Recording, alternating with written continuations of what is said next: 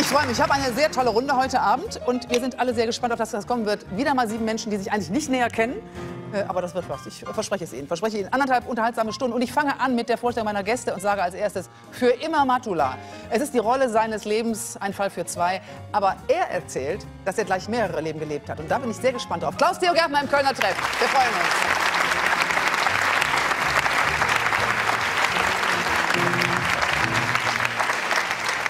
Ihr schönes Aussehen ist ohnehin anziehend, aber für ihr neues Musikvideo hat sie alle Hüllen fallen lassen und sie sagt dazu, Nacktheit ist echt und wahr. Das meint sie, die Frontfrau der Band äh, Frieda Gold, Alina. Freue mich.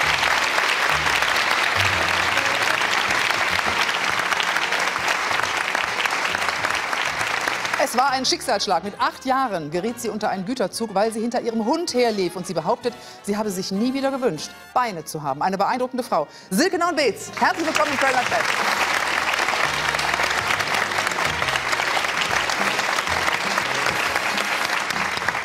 Kann ich nur sagen, mit ihm ist jeder Film sehenswert. Und seine aktuelle Bandbreite zeigt sich darin, er spielt zum einen einen abgehalfterten Pornodarsteller, Entschuldigung, und in einem anderen Film einen todkranken Schwulenbauer. Ich freue mich sehr auf André Hennecke. Herzlich willkommen.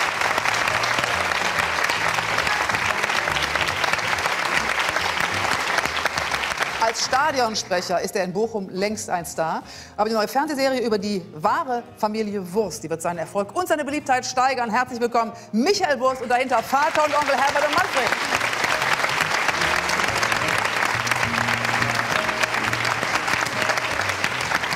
Vor neun Jahren wurde sie Germany's Next Top Model. Und heute ist sie, beziehungsweise sagt sie, das perfekte Modelgewicht. Das habe ich nie erreicht. Ich freue mich und bin gespannt auf Barbara Meyer. Herzlich willkommen.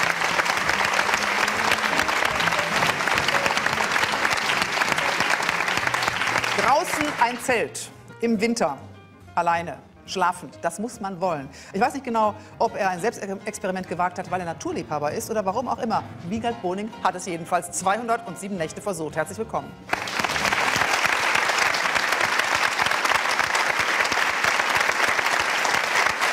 Ich habe es sehr gerne muckelig warm. Und als ich gehört habe, dass du 207 oder 204 Nächte, 204 Nächte im Freien, ja. habe ich gedacht, hat der Mann eine Midlife-Crisis? Ist die Ehe kaputt?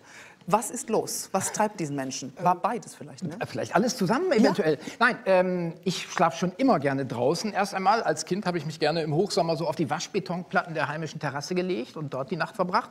Und dann bilde ich mir ja schon seit ewigen Zeiten ein, im vorigen Leben ein Shetland Pony gewesen zu sein. Und das habe ich so vielen Freunden auch mittlerweile gegenüber erzählt und behauptet, dass ich es mittlerweile selber glaube. Du warst ja auch auf dem Zuge dieser Reise auf den Shetland-Inseln. Ich bin dann auch mit meinem Zelt, als mir das in Deutschland zu dröge wurde und zu warm, auf die Shetland-Inseln gefahren und habe da Shetland Ponys leibhaftig getroffen. Haben die dich erkannt? Ich behaupte ja. Aber das ist halt vielleicht auch Autosuggestion. Aber du konntest dir in die Augen gucken. Du bist ja nicht so richtig lang. Also meine Mähne war kürzer als die der Pferde auf jeden Fall. Okay, ist in Ordnung. Aber das fing ja eigentlich gar nicht mal als Experiment an, sondern du hattest irgendwann Bock, ich gehe jetzt einfach mal, weil es heiß ist, raus. Ganz profan. Es gab ja im letzten Sommer, also Sommer 2015, so ein paar ganz heiße Tage, 40 Grad. Da konnte ich zu Hause nicht einschlafen und habe mir gesagt, jetzt gehst du halt nach draußen in München an die Isar. Isar, kühles Wasser, da kann man eventuell besser einschlafen. Und da fand ich dann keinen Platz am Ufer, sondern so eine Kiesbank im Wasser, so eine richtige Insel. Ich bin dorthin gewartet, fühlte mich so wie so ein Entdecker, wie James Cook mit seinem ersten Betreten Australiens. An der Isar in München. Genau, tauch, tauchte das auch gleich die Boning-Insel und fühlte mich dort dann so gut gleich in der ersten Nacht, dass ich mir gedacht habe, jetzt gehst du auch gar nicht erst wieder nach Hause. Hier gefällt es dir so gut, hier bleibst du fürs Erste. Und in der zweiten, dritten Nacht entwickelte sich dann auch so langsam die Idee, dass man jetzt auch mal länger einfach mal draußen bleiben könnte, weil wir werden ja nur 90, wenn man Glück hat, dann sollte man noch möglichst viel mitnehmen. Zurück zur Natur heißt das, auch wenn man heutzutage gute Zelte hat, aber dein Zelt war nicht so richtig groß. Das war also das kleinste Ein-Personen-Zelt, das man so kriegt. Also ich konnte mich da so knapp aufsetzen. Wir haben das hier im Foto festgehalten. Ich frage mich nur, wie bist du denn da angezogen? Denn ich bin Camper. Achso, das ist hier bei, bei Camping Berger in Köln tatsächlich. Da kann man sich ja auch ruhig mal gediegen anziehen, wenn man in der Stadt zeltet. Die Krawatte. Ich komme ja. gar nicht drüber. Ja, nun, verkehrssicher halt. Aber wir, wir, haben, ja, verkehrssicher, wir haben ja auch einen Roller. Den hast du auch daneben noch im Foto ähm, drapiert. Ja, äh, gut ich bin ja sowieso gerne aus Muskelkraft heraus selber immer unterwegs. Also ich bevorzuge sonst auch das Fahrrad. Hier war jetzt die besondere Aufgabe, den ganzen Hausstand sozusagen in einem Rucksack mit sich herumzutransportieren. Und da war der Roller dann geeigneter. Wir haben uns heute wieder Sorgen gemacht. Es hieß, alle Gäste sind da, nur Wiegald Boning nicht. Warum nicht? Der ist mit dem Fahrrad am Hotel gestartet und noch nicht hier. Also du fährst tatsächlich auch, ja. wenn du unterwegs bist, fährst du auch mit deinem Rädchen? Nach Möglichkeit schon immer. Das ist sehr tapfer. Das, ich, bin, ja, ich bin halt, wie sagt man, Frischluftfanatiker im ganz einfachen Sinne. Also ich fühle mich einfach besser, wenn ich draußen bin. Okay, du hast das Experiment gemacht äh, und deine, deine Kreise wurden weiter. Ja. Hast du zwischendurch woanders mal zwischendurch so übernachtet oder hast du das durchgezogen am Stück? Ich habe das durchgezogen. Es gab äh, zwei Mogeleien. Die eine, ich bin mal aus Versehen auf einem Hotelbett eingeschlafen und mit einem furchtbar schlechten Gewissen nach einiger Zeit aufgewacht und habe mich dann sofort wieder auf den Balkon geflüchtet. Äh, die andere war vorsätzlich. Es gibt, wie heißt das, vielleicht kennt das der ein oder andere, Tropical Islands. Das ist so eine, die ehemalige Zeppelin-Cargo-Lifter-Halle in der Nähe von Brandenburg. Da kann man über Dach zelten und das wollte ich mir unbedingt mal irgendwann als vorsätzliche Mogelei antun. Wie lange brauchst du heute, um dieses Zelt aufzubauen? So, so drei, vier Minuten, dann ist das erledigt. Das ist gut. Ja. Ich, glaube, ich, meine, ich muss ganz ehrlich sagen, Campen ist nicht meins. Zelten Ja. war es noch nie. Ich habe es nur einmal gemacht und das war kein Erfolg. Für den Platz nicht und für mich nicht. Ja. Alina, äh, Sie kommen aus Hattingen, mitten im Ruhrgebiet. Haben Sie früher mal gezeltet mit Ihren Eltern? Ganz viel, ja. Echt? Ja, ja. Gefühlt Ah, habe ich man eigentlich auch mein halbes Leben im Zelt verbracht. Wirklich? Ja. Also, ja, wir sind halt immer in den Campingurlaub gefahren und auch wirklich ja tatsächlich spannend. jedes Wochenende. Also meine Eltern wollten immer weg. Ähm, Okay. und Und, macht das heute auch noch Spaß? Weil ich komme ja aus so einem bürgerlichen Haushalt. Meinen Eltern war das ein bisschen zu, äh, zu robust. So. Also da gab es nur einen Campingurlaub und meine Eltern haben dann gleich damit abgeschlossen. Zeltest du heute gerne? ähm, ich habe es tatsächlich schon lange nicht mehr gemacht, ähm, was ich sehr schade finde. Weil ich fand das immer, ich, ich fand das damals auch einfach schon so schön, sich da so zu erden und da irgendwie so ein, ja, irgendwie in so eine andere Wahrhaftigkeit einzutauchen. Mhm. Ja. Ähm, ich weiß nicht, Klaus Theo Gärtner, wäre das was für Sie? Zelten? Als Pfadfinder habe ich viel gezeltet. Aber dann hat sich das gegeben. und Das waren aber noch sehr schwere Zelte größere. früher. Ne? Da waren so richtig, boah. Koten hießen die. Oh, Ja, das, das, klingt. Ja. das klingt nicht schön, Koten, aber lassen wir das. Wiegald, apropos, apropos robust, wenn man immer so unterwegs ist mit wenig Gepäck, Ja. wenig Sachen zum Wechseln, mit so einem kleinen Zelt. Ja. Sie haben mal ein schönes, du hast mal ein schönes Lied geschrieben mit, mit Olli Dietrich, das hieß Mief. Richtig. Ich weiß nicht, wieso ich da jetzt drauf komme, aber die Hygiene unterwegs. Äh, nun, ja, ich glaube, dass wenn man also zumindest mal mitgedichtet hat an so einem Song wie Mief, dann gelten Sonderkonditionen, das mal vorweg. Also habe Okay. ich mir dann so gesagt, wenn ich jetzt so campe, das ist natürlich ein Problem. Zum einen kann man ja das Zelt möglichst immer in der Nähe eines Sees oder auch auf dem Campingplatz in der Nähe eines Waschhauses aufstellen. Aber ich gebe zu, dass es dann vor allen Dingen so im Spätwinter die eine oder andere Woche gab mit starkem Dauerregen, dass, äh, in, in einer, an deren Ende ich mich dann auch recht unsauber fühlte. Ja. Apropos, da kommen wir auf die Frage nach dem Damenbesuch im Ein-Mann-Zelt. Ja. Also ich meine, Bernhard Hohecker hat reingepasst. Ich habe ein Beweisfoto gesehen, dass Ja. er drin war. Da passten zwei Männer rein. Die sehen auch sehr erfüllt aus, sehr glücklich, muss man sagen. War das der einzige Besuch? Ja, es gab noch mehr Besuche, da habe ich aber keine Beweisfotos. Aber unterm Strich mal, du hast an besonderen Orten übernachtet. Du hast in der Semperoper auf der Bühne geschlafen. Ja. Wer hat das erlaubt? Ähm, die Semperoper selbst. Ähm, das war aber nach meiner Zelterzeit. Also ich habe nach dem Zelten Interesse daran gefunden, einfach an ungewöhnlichen Orten zu übernachten. Mittlerweile, also da ge- entgeht einem einfach viel, wenn man immer nur zu Hause im Bett liegt. Jetzt kriegst du ja ständig Angebote, wo du übernachten sollst. Äh, Also ich bin offen für Angebote. Sagen wir mal so. Äh, Ich könnte mir durchaus vorstellen, dass das so ein langfristiges Sammelgebiet wird. Und ich weiß schon jetzt, dass an ungewöhnlichen Orten, wenn sich die Gelegenheit bietet, dort zu übernachten, sage ich nicht nein. Unter anderem hast du auf der, auf der Mittelfeldlinie im Weserstadion übernachtet. Ja, Mittelkreis. Auch da haben wir einen, man sieht dich jetzt noch, du bist Ja, das das kleine Rote, da ist mein Zelt, genau. Werder Bremen. Ich fasse es. Ja, kann ich nach Bochum kommen? Kann ich bei euch auch? Ja, klar, Ja, Kannst natürlich. du im 16 abpennen, wenn du willst. Okay, ja. Ja, auf den Elfmeterpunkt. Allerdings, ähm, das war vor dem Derby gegen den HSV. Am nächsten Tag haben die verloren, also hat Werder verloren. Und ich hatte mir sonst ausgerechnet, im anderen Fall, dass ich dort immer wieder eingeladen werden würde, hatte der Verein schon angekündigt. Das ist jetzt nicht der Fall. Also ich darf doch nicht mehr vor einem Spiel übernachten. Dann können wir das bei uns mal probieren. Da können wir das mal Vielleicht klappt abprobieren. das irgendwo. Ja. Sag mal, wo du so begeistert bist, hast du inzwischen äh, einen Ausweis ohne festen Wohnsitz? Darüber habe ich noch, also zwischenzeitlich immer mal so äh, als Spinnerte, als spinnerten Nebenweg nachgedacht, aber noch nicht ernsthaft in Erwägung gezogen. Aber ist vielleicht was fürs Alter. Ganz im Ernst, weil man meint ja immer, das Zelten, sowas mit Jugend und da muss man noch einen gesunden Rücken haben, um das zu ertragen und so. Ich glaube, dass das nicht altersabhängig ist. Aber mal ganz im Ernst, was Ja. hat das Experiment, was ja lange gedauert hat, Ja. ja. 204 Tage sind ja fast schon, naja, gut, ein Dreivierteljahr. Was hat das eigentlich für dich gebracht? Ähm, Außer einer Einladung in Kölner Treff. gewisse, gewisse Erkenntnisse. Zum Beispiel habe ich jetzt für mich feststellen können, dass Häuser und auch Heizungen überbewertet werden.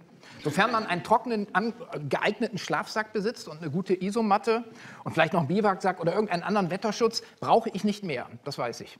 Also Wohnungen haben natürlich ihre Berechtigung, aber weniger, um die, um die Existenz zu erhalten. Das geht auch mit dem Zelt und vor allen Dingen mit einem Schlafsack, der ist dann aber sehr, sehr wichtig. Äh, Die haben eher ihre Berechtigung in der Kultur als Stauraum, hatte ich jetzt so den Eindruck, um den ganzen Kram so aufzubewahren, den man im Laufe eines Lebens zusammenträgt. Den, den Alter. Schläfst du da immer ungeduscht in dem Schlafsack? Ja, eher. Ich meine, also wenn du in so einem Stadion, dann musst du ja vorher duschen oder gehst du da immer so... Ja, ich habe so ein Overall, habe ich dann mit. Also, ja. Also ich bin schon Ach so, wie die Forensiker so. So ähnlich. Ja, ja, ja, ja. Ja, kann man sich das ausmalen, genau. Wurde eigentlich in der DDR viel gezeltet früher? Ich weiß das gar nicht. Ja, sehr viel. Äh, Fast nur, weil es war ja nicht viel Möglichkeit sonst. Aber ich habe äh, da nicht so mitgemacht. Ich habe mal mit einem Freund auf Ummanns zelten wollen und wir sind da einfach hin, haben uns vorher nicht erkundigt. Und da war nur Schilf. Wir kamen gar nicht ans Meer ran und haben uns da in so einem Schiff so ein Zelt aufgebaut. Und da kamen die Mücken und dann sind wir am nächsten Tag wieder nach Berlin gefahren und haben das abgebrochen. Und da habe ich dann auch, ja. Das war, aber das Experiment hat ja, hat ja hingehauen. Das hat ja sozusagen Folgen. Apropos Folgen. Folgeobjekt? Ach, Folgeobjekt, ja. Also, wir haben jetzt viel über Schlafen gehört im Zelt unter neuen Bedingungen. Ja. Du machst demnächst eine Sendung, von der niemand sagen würde, sie passt ausgesprochen gut zu den Öffentlich-Rechtlichen. Ja. Du machst Schnarchsendungen. Äh, Schnarch, also eine, das wird eine monothematische Show, in der es ausschließlich ums Schlafen geht. Gute Nacht, die Show vorm Einschlafen. Das ist beim NDR demnächst. Also, da hatte Also, die DDR was Sandmännchen. Muss man Ja, so, also eine, für mich eine traumhafte Fernsehidee. Also wir verbringen ja die Hälfte unseres Lebens im Schlaf oder fast die Hälfte. Und das muss ja auch im Fernsehen mal gewürdigt werden, finde ich. Dass also die Realität ins Fernsehen Einzug hält. Und da werde ich mich mit meinen prominenten und nicht prominenten Gästen vor allen Dingen um Schnarchen, Zähneknirschen, Einschlafrituale, Kuscheltiere, solche Sachen unterhalten. Es ist, es ist 20 Jahre her, dass du bekannt geworden bist durch RTL Samstagnacht. Und du hast so viele Experimente durchgezogen Ja. und giltst als großer Unterhalter. Und ich kann nur sagen, das hat es bestätigt. Weiterhin viel. Sch- Deine Kinder nennen dich Mr. Humorlos. Ja. Warum? Ich meine, die kennen dich näher. Ja, die kennen mich sehr gut. also für, womöglich bin ich ja gar nicht so lustig. Also zumindest aus Sicht eines Kindes bin ich als Erziehungsberechtigter vielleicht eher unkomisch. Das mag sein. Dann kauf doch mal ein Zweimann-Zelt und nimm einen mit. Also Ich meine, so einen Jungen von deinen. Was Ja, ist die sind zwei? jetzt 18, die haben gar, also so große Lust mit dem Papa jetzt zelten zu gehen, haben die nicht. Alles klar. Trotzdem schön gut. Wiegald Boning.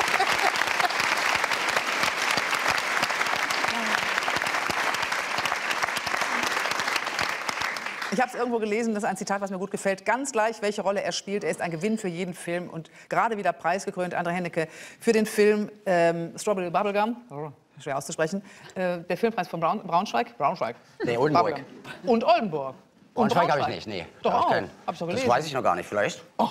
In Abwesenheit zum Preis verurteilt. Beides zu. Also Nee, da weiß ich, Braunschweig weiß ich nicht, aber das war der Oldenburg, dieser ähm, Filmpreis, Simon ja. Castell Award. Ja, das, ist- das ist ganz als, als bester Hauptdarsteller. Herzlichen Glückwunsch. Das ist, ähm,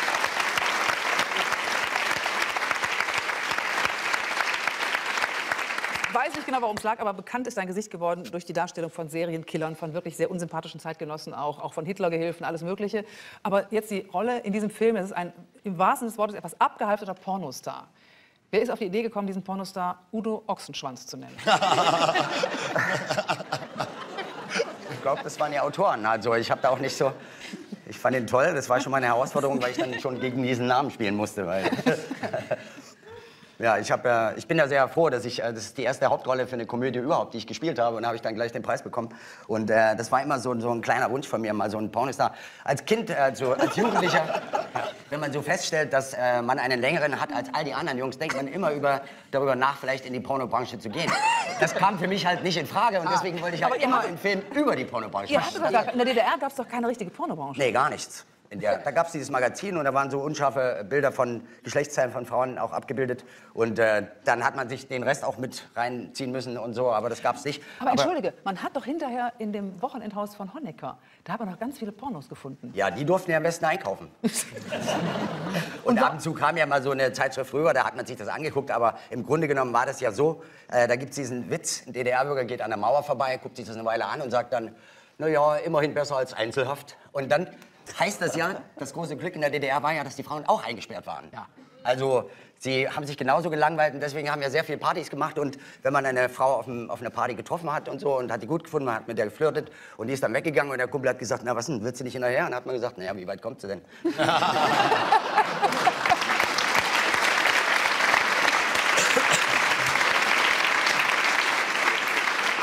sagst, bei euch in der DDR gab es halt keine Pornobranche in dem Sinne. Dabei haben ja viele Schauspieler im Westen immer so Pornos synchronisiert. Und reden heute auch drüber. Ja? Damit hat man sich halt ein paar Mark verdient und so, und dann funktioniert das. Was war denn die größte Herausforderung? Einen Pornodarsteller zu spielen, in einer besonderen Rolle, ist eine Komödie, oder eben zum ersten Mal Hauptrolle in einer Komödie? Eher das Letzte, weil ich damit keine Erfahrung hatte. Ich habe schon mal so Komödien mitgemacht, kleine Rollen und so, aber jetzt eine ganze Rolle äh, komisch zu gestalten. Ich, äh, die meisten Leute, die mich kennen, die sagen, na, du bist ja eigentlich immer so wie in dem Film. Und so hatte ich denn da früher niemand besetzt? Dann habe ich gesagt, ja gut, äh, die sehen da halt was anders in mir. Und dann durfte ich halt, es war kurz nach dem Jonathan, wo ich den Sterbenden gespielt habe, da konnte ich natürlich dann richtig äh, mich austoben und das hat wunderbar mit der Gloria funktioniert. Und äh, das ist ja, ich habe ja diesen Preis bekommen und das Kuriose ist ja, da befinde ich mich in einer ganz merkwürdig paradoxen Situation, weil Oldenburg ist ja ein Kinofestival. Ja. Und äh, der NDR hat offen gehalten die Option, dass wir vielleicht ins Kino kommen, wenn wir einen Verleih finden. Dann habe ich halt den Preis bekommen und jetzt äh, habe ich erfahren, dass ähm, die die Entscheidungs Planungsebene im NDR schon vor drei Wochen beschlossen hat, der, dass der auf den Sendeplatz kommt. Und jetzt haben wir einen Verleih gefunden und wollten ins Kino kommen und äh, dann haben die gesagt, ja, es tut uns leid, aber dieser Vorgang ist halt nicht, äh, der ist alternativlos. Ist egal, außer wir sehen. Jetzt habe ich einen Kinopreis für einen Fernsehfilm bekommen. Das Ja. Das ist. Und. Nacheinander diese beiden Filme. Wir zeigen gleich einen Ausschnitt von dem wunderbaren Film Jonathan. Aber erstmal, ich habe den Film noch nicht gesehen, für den, du den Preis bekommen, für den Sie den Preis bekommen haben. Aber die Szene hier, äh, die wird alle äh, animieren, da reinzugehen.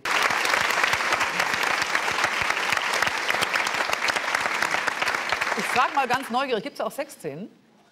Ja, man sieht sogar echte Genitalien, aber das ist ja in der Branche so, dass die da auftauchen. Und äh, da gibt es ein paar Szenen, ja. Ich wollte es ja nur wissen. Ja, ja, richtig hardcore. Also sollte man sich unbedingt angucken. Wir hatten bei der Vorführung sehr viele ältere Leute drin, alle so über 50, 60. Die haben am meisten ge gelacht und gestrahlt. Und die guckten danach, die waren alle so glücklich. Und teilweise haben sich so Frauen in den Weg gestellt und haben so, die waren irgendwie erinnert an ihre Jugend, weil sie selber welche gemacht haben oder äh, immer mal machen wollten. Aber das ist halt ein schöner Blick, in, weil wir die, durch die ganze Pornobranche gehen. Also die Hinterhofsachen bis in die Hochglanzindustrie äh, und so. Und das ist ein, für mich auch ein guter Einblick gewesen. Hatten Sie da eigentlich auch so, so, eine, so eine Art Grenze oder so ein Schamgefühl, was Sie überwinden mussten? Nee. Was für eine blöde Frage, Ja, wa? ich kriege ja, ich krieg's ja bezahlt, das ist ja mein Job, dass ich, diese, äh, dass ich mich ausziehe und diese Sachen mache. Weil das Das sagen die Pornodarsteller aber auch. Ja, die sind aber eher so witziger als ich. Wenn man Also, die, jedenfalls hat Jasmin Tabatabai, die auch eine kleine Rolle spielt in dem Film, die hat gesagt, sei mit Ihnen ein Fest der Sinne gewesen. Das klingt doch schon mal sehr schön. ja, toll, ich bin überrascht. Ja, sehr. Aber abgesehen davon, ähm, wir haben ja auch heute Klaus Diogerne dabei mit seiner Autobiografie. Sie haben ein Buch vor, in dem Sie im Grunde genommen ein Buch über Liebschaften schreiben, also Ihre eigenen, wohlgemerkt. Wie dick wird denn das Ding? 400 Seiten, aber ich werde es kürzen. Ja, das sind halt ein paar aufregende Geschichten passiert. Die, ich, die habe ich halt immer erzählt. Und die Leute sagen, das musst du unbedingt aufschreiben. Weil das teilweise äh, Geschichten sind, die man sich nicht ausdenkt, die in keinem Film vorkommen dürfen, weil jeder sagt, das gibt's nicht. Sowas passiert einfach gar nicht und so.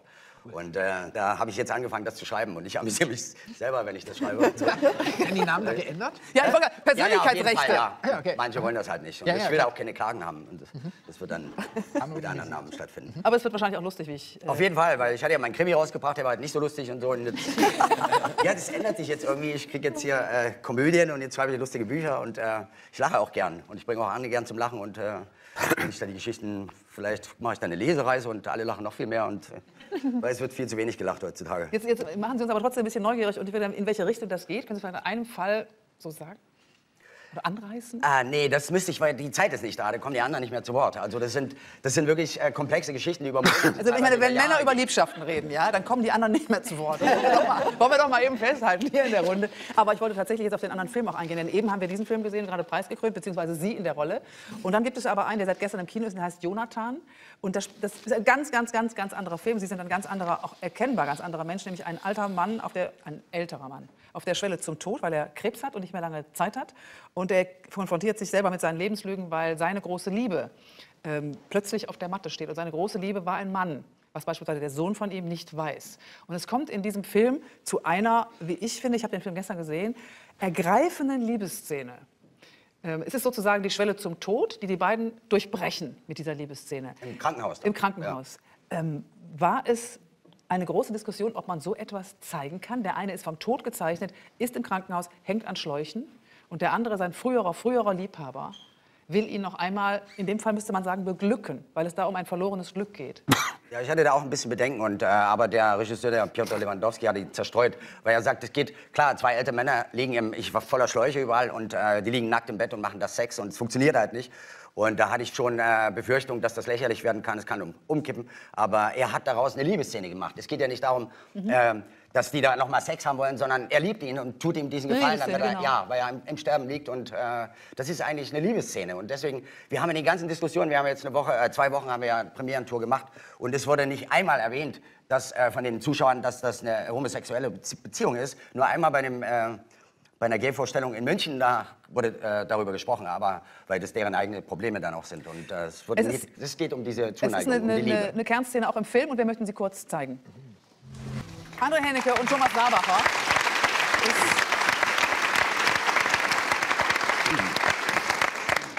Also ich bin nicht so nah am Wasser gebaut, aber ich habe gestern wirklich sehr geweint, weil mich der Film so berührt hat, weil es um Lebenslügen geht, um Liebe geht, um das, was eigentlich wahr ist. Und für Sie war es, glaube ich, eine besondere Herausforderung, weil Sie beim Spielen wahrscheinlich an Ihre Mutter gedacht haben, die Sie in den Tod begleitet haben.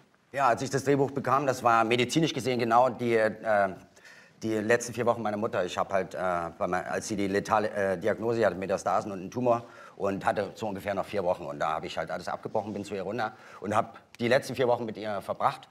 Und ich habe äh, sie begleitet die ganze Zeit und äh, habe das alles gesehen. Diesen Krankheitsverlauf, wie sie gestorben ist. Und ich habe die letzten zwei Tage habe ich sogar bei ihr im Bett gelegen und habe sie in meinen Arm gehalten, wie sie mich als Kind im Arm gehabt hat. Und ich habe, das hat sich halt bei mir eingefräst. Und als ich das Buch las, wusste ich sofort, wie ich diese Rolle spiele. Ich habe ich hab mich nicht vorbereitet, ich habe keine Ärzte konsultiert, keine Patienten, weil ich bin ja dann noch ein Dreivierteljahr als freiwilliger Sterbebegleiter in ein Hospiz gegangen. Danach. Danach, ja, nachdem sie tot war, weil ich dachte, ich müsste dahin, weil den Leuten geht es noch dreckiger als mir und ich dachte, das würde mich erleichtern. Aber es war, wurde noch schlimmer, weil die Leute dann, die kamen rein, starben, ich begleitete sie, kriegte ihre Lebensgeschichten mit. Und, ähm, und da habe ich einen kennengelernt, Jürgen hieß der, das war ein Ingenieur, der hatte eine Familie, eine Frau, zwei Kinder und ähm, er lag halt im Sterben und er sagte, er würde unbedingt gerne mal seine beiden Kinder sehen. Und da habe ich gesagt, kein, äh, kein Ding, da sagst du mir die Namen, wir gehen dann ins Netz, äh, Rotes Kreuz können wir ja recherchieren und so. Und der hat dann gesagt, naja, er ist damals, äh, hat gedacht, das kann ja nicht alles sein mit der Familie, das hat ihm nicht gereicht. Und er hat über Nacht die Familie verlassen und ist, hat, hat sein Leben gelebt als Abenteuer, hat äh, Frauen kennengelernt, hat Partys gemacht. Und da habe ich gesagt, ja, es geht ja darum, man kann ja viele Fehler im Leben machen, aber man muss am Ende äh, die Rechnung begleichen. Man muss, äh, und vielleicht könnt ihr euch versöhnen, sagt mir die Namen und dann kommen die, vielleicht kommen sie nicht. Und dann hat er gesagt, ähm, ich habe die Namen vergessen von meinen Kindern. Da habe ich gedacht, das ist so wie in dem Film, dass man die Entscheidung, die man im Leben trifft, man sollte immer äh, davon ausgehen, dass sie am Ende einen wieder einholen. Ich sage, für die kleinen Fehler kriegt man immer Rabatt, aber für die großen, da muss man immer drauf zahlen. Und das ist dieser Film, dass man sozusagen seine Rechnung schon im Leben begleicht. Man soll nicht immer daran denken, dass man sterben wird, sondern man sollte wissen, dass man äh, am Ende dafür bezahlt. Ja, das ist die, der, der Sohn spielt ja auch eine ganz erhebliche Rolle in diesem Film, gespielt von Janis Niewöhner, auch ganz, ganz wunderbar, wie ich finde. Aber noch eine Frage zu Ihrer Mutter. Wenn ich Ihr Leben richtig verfolgt habe oder beziehungsweise mitbekommen habe, was ich gelesen habe, war Ihre Mutter ja eine sehr starke Persönlichkeit und eine Frau, die immer dafür gekämpft hat, dass aus Ihnen, dem sehr halbstarken André, sage ich jetzt einfach mal so, doch was wird, dass aus dem mehr wird, dass der vielleicht Schauspieler wird. Die hat mehr für Sie gekämpft als Sie für sich damals. Ja, ja, die hat sich immer dann äh, die Annoncen rausgesucht, wo gerade sie wollte, dass ich Bühnenbildner wäre. Wir sind dann nach äh, Karl-Marx-Stadt, Chemnitz zum, zum Theater, haben uns Cosi van Dutte, ich fand das alles furchtbar, haben mit den Bühnenbildnern gesprochen. Und ich habe gesagt, das äh, ist, ist nichts so für mich. Dann hat sie halt immer Bewerbungen, da habe ich mich an der Fachschule für Grafik und Gestaltung in Berlin-Schöneweide beworben für ein Grafikstudium, weil ich sehr gut malen kann. Da hat, aber ich habe eine stark ausgeprägte Rot-Grün-Schwäche und dann konnte ich das auch nicht machen. Und dann hat sie halt diese Annonce von der Filmhochschule rausgesucht, wo Schauspieler gesucht wurden. Und Also sie ist gesagt, schuld. Sie hat mich überall Sie ist hingeschickt. schuld. Sie hatte, na, ich habe sehr viel gesoffen mit meinen Kameraden und sie wollte nicht, dass ich so ende darum.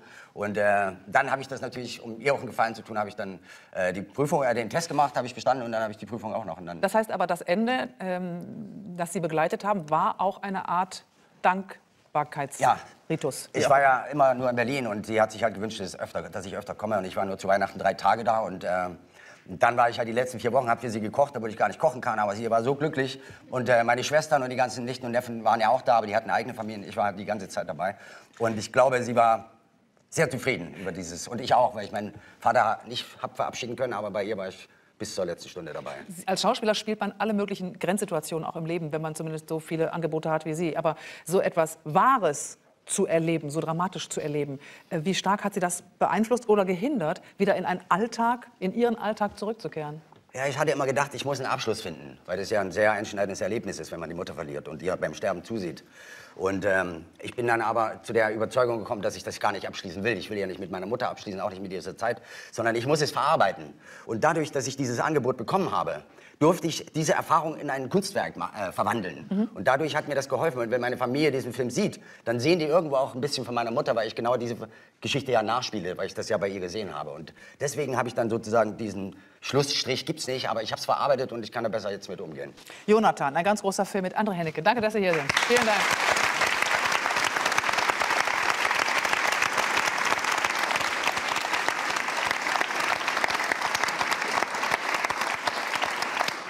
Fällt ein, wenn wir eben darüber gesprochen haben, so was, was ist wahr, was ist tatsächlich realistisch, was ist nicht Kunst, sondern pur erlebt. Da bin ich gleich bei Ihnen, äh, liebe Alina, Frontfrau von Frieda Gold, und dem, dem, was Sie künstlerisch eigentlich wollen, weil Sie immer sagen, ach, es muss im Grunde genommen auch bei dieser ganzen Musikgeschichte, es muss immer das Pure sein, was da rauskommt. Ist das der Grund gewesen, das Pure, weshalb Sie sich für Ihr Video zu dem neuen Album schlicht und ergreifend ausgezogen haben? Das hat man ja nicht so häufig, dass Künstler sich ausziehen und singen. Also ich glaube, da muss man ein bisschen vorher auch noch ansetzen. Also wir haben mit Frieda Gold einfach ähm, echt wunderbare Jahre erlebt und wir konnten uns total viel ausprobieren. Und ich habe immer so das Gefühl, ganz egal wie lange ich vorweg auch schon Musik gemacht habe, ähm, es ist trotzdem noch mal was anderes, wenn dann die Öffentlichkeit zuguckt. Und ich hatte einfach eine unheimliche Ausprobierphase und ich habe mich irgendwie nicht gefunden. Und ich hatte auch irgendwie immer das Gefühl, irgendwann, ähm, ich müsste so einen bestimmten Bereich von mir abstecken und sagen, okay, das ist Frieda Gold und das passt da in die Rolle und alles andere ist irgendwie Alina und das irgendwie bleibt außen vor. Ich, ich glaube, durch dieses, ne, durch, durch dieses sich selbst finden wollen und eben einen Spiegel von der Öffentlichkeit bekommen. Und ähm, wir hatten jetzt, wir haben uns zwei Jahre wirklich zurückgezogen und haben äh, an diesem Album gearbeitet.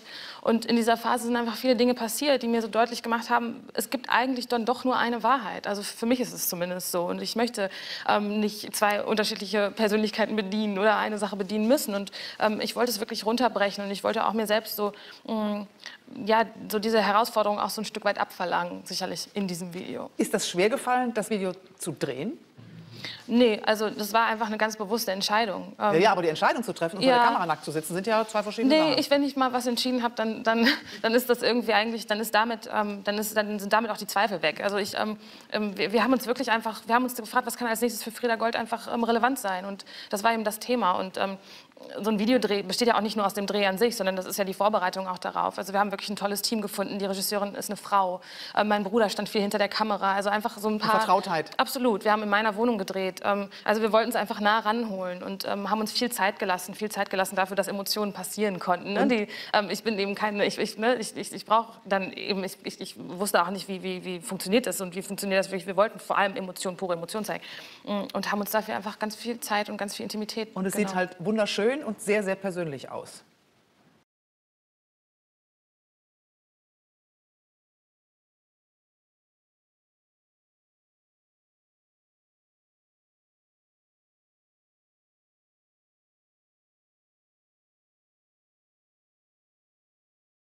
Das neue Album von Frieda Gold mit Alina. Sie lächeln mich jetzt so ganz warm an. Und ich gefragt, ist, das, ist man ein bisschen schüchtern, wenn man sich selber dann sieht? Ach, ich bin grundsätzlich schüchtern. ja. aber auch sehr offen. Also die, die Texte in dem Album, sie schreiben, was man ja nicht unbedingt erwarten kann, auch von Ängsten, auch von der Einsamkeit und Sehnsucht im Jet-Set-Leben beispielsweise, in das sie ja erst vor wenigen Jahren reingepurzelt sind. Eine junge Frau aus Hattingen, die eigentlich mal klassische Musik machen wollte, nämlich Querflöte, wird Popstar und führt natürlich auch ein Leben in ganz anderen Breitengraden oder Umlaufbahnen, wie auch immer. Wie groß ist da manchmal die Sehnsucht nach einem ganz biederen, normalen Alltag? Die ist da, die ist definitiv da. Also gerade auch wenn man so, ich komme eben auch aus einer ganz bodenständigen Familie, aus einem ganz irgendwie, ja, aus einem ganz normalen Alltag, aus einem ganz normalen Ablauf und ähm, irgendwie auch da. Also wenn man so Ruhrgebiet ist ja irgendwie auch, ne, ist einfach alles sehr geerdet und ähm, und natürlich habe ich danach Sehnsucht, aber ich habe gerade auch so im letzten Jahr feststellen müssen, weil es ist natürlich auch ganz viel, ganz Tolles passiert und ich durfte so viele Orte sehen und ich konnte dann an so vielen Orten in der Welt Musik machen und ähm, habe da ganz tolle Menschen gefunden für mich und so. Ähm, und trotz alledem, glaube ich, ist aber die Sehnsucht vor allem immer dann groß, wenn man das Gefühl hat, man ist irgendwie in sich selbst nicht so richtig angekommen und nicht so richtig zu Hause. Und ich glaube, das ist eigentlich so der Weg oder auch ein Stück weit so auch mein Ziel oder auch das, was das Album vor allem beschreibt. ne? Ich glaube, ähm, man trägt einfach sein eigenes, man trägt sein Zuhause eigentlich mit sich. Ähm, Das ist ja auch, wenn Sie von zu Hause reden, das ist ja auch irgendwie eine interessante Geschichte, fand ich. Das Album sollte jetzt ähm, auf Englisch erscheinen. Das heißt, die Lieder sollten englisch gesungen werden. Das war im Prinzip alles klar und schon praktisch fertig. Und dann haben Sie gemerkt, das funktioniert nicht. Das wollen die Leute nicht. Die, die uns mögen, die Frieda Gold mögen, die wollen uns weiter in deutschen Wörtern hören und nicht irgendwie anders. Und haben dann alles nochmal sozusagen neu gemacht. Ja, ja, ähm, ja es, es, war einfach so, wir haben uns in den Schreibprozess des dritten Albums so begeben und, ähm, und die Sachen sind einfach auf Englisch passiert. Die sind, also ich habe auch immer das Gefühl, ähm, ne, so, man sitzt da ja nicht und schreibt und schreibt und irgendwann, sondern bei mir ist es wirklich so, dass wenn ich so, so, eine gute Verbindung habe und so, dann, dann kommen die Sachen einfach. Sie sind ja auch auf den Vereinigten Staaten. Ähm, ja, und ich habe vor allem auch eine ganz intensive Beziehung zu einem Amerikaner ähm, gelebt. Also ich habe wirklich auf Englisch gelebt und geliebt und ähm, das, die Sachen haben sich auf Englisch durchgesetzt. Und ich glaube auch einfach daran, wenn man sich als Künstler empfindet oder ne, so das Gefühl hat, man, dann, dann muss man diesen, diesen intuitiven Dingen, die da passieren, einfach auch freien Lauf lassen. Und darauf haben wir uns geeinigt. Also Andi und ich, ähm, wir sind da in einem sehr engen ähm, Kontakt und haben gesagt, okay, wir machen es so. Und ähm, letztendlich war es klar, dass es ein Wagnis ist. Nach zwei deutschsprachigen Alben kann man ja nicht Aber Sie haben, so das Rad, Sie haben das Rad zurückgedreht. Dann machen wir es eben doch auf Deutsch. Ja, ähm, weil wir gemerkt haben, dass die Übersetzung nicht stattgefunden hat. Also wirklich, die Leute wollten damit, konnten damit nicht verknüpfen. Und ähm, so Musik ist dann doch, ähm, wenn man sie nur für sich selber macht, dann auch ganz schnell ganz einsam. Und ähm, ja, und dann, dann sind wir aber eben auch mit der gleichen Überzeugung und auch das, das kriegen wir auch irgendwie ganz gut hin, sind wir eben, dann haben wir das Ruder rumgerissen oder haben auch gesagt, wir waren auch selbst so stolz auf den Prozess. Und ich glaube, manchmal muss man die Dinge auch einfach nur machen, um sie zu machen. Und gar nicht, weil man damit irgendwo hin will, sondern weil man diese Zeit und auch diese Distanz auch vielleicht zu dem, was man vorher gemacht hat, manchmal einfach auch braucht, um die Grenzen zu verschieben. Sie haben gerade gesagt, Sie hatten eine Beziehung in Amerika auch ja. zu, einem, äh, zu einem kalifornischen Winzer. Ja. Da fand ich ja großartig. Warum haben Sie den verlassen? War der Chardonnay so schlecht? Nein, das ist auch, auch, er ist auch noch ein ganz wichtiger Mensch in meinem Leben. Also das war wirklich einfach eine ganz tolle Begegnung. Und, ähm das ist ja auch eine Begegnung von, von verschiedenen Welten. Da ist die Künstlerin und der Winzer, sprich Weinbauer, also sehr erdverbunden. Und, und bei Künstlern ist man eher immer so ein bisschen schwebend oder oft ein bisschen schwebend. Doch, der war Aber auch schwebend. Aber was Sie, was Sie eben gesagt haben, ähm, der ist ja sozusagen noch bei mir, auch als Freund. Ähm, das ist ja in Ihrem Leben, wir haben, der, als Sie schon mal im Kölner Treff waren, darüber gesprochen, dass Sie äh, vorher mit Andin Paar gewesen sind mhm. und dass Sie jetzt aber sehr, sehr eng verbunden sind, mhm. natürlich zusammen arbeiten, aber letztlich zusammen weiterleben. Mhm. Das heißt, Sie sind ein sehr treuer Mensch. Ja, also ja, vielleicht jetzt nicht so im allgemeinen klassischen.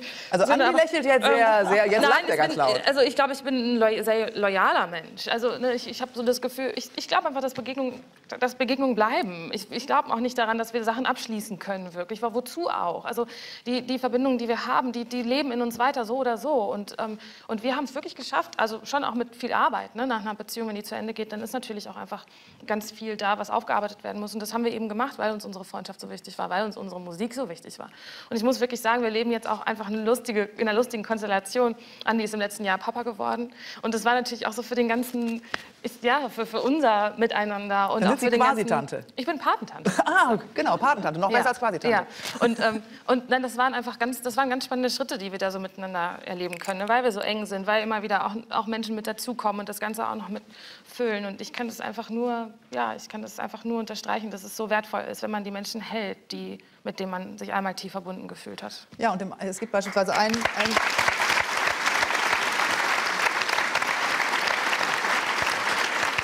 Das, was Sie sagen, ich, dieses Album wird auch durchzogen von Texten, da ist Angst vom Scheitern, da ist überhaupt Angst ein ganz großes Thema und das macht einfach nicht nur, weil Sie da tatsächlich nackt, also höhlenlos singen, macht es einen sehr, sehr klaren, puren Eindruck. Ich danke Ihnen, dass Sie da sind.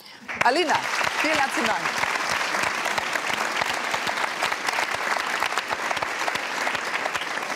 Ich freue mich, dass Klaus Theo Gärtner zum ersten Mal im Kölner Treff ist. Er hat seine Autobiografie geschrieben. Mit der muss es jetzt gut laufen, denn ihre Mutter hat in der Buchhandlung, wo wohnt sie, in Bochum? Oberhausen. In Oberhausen.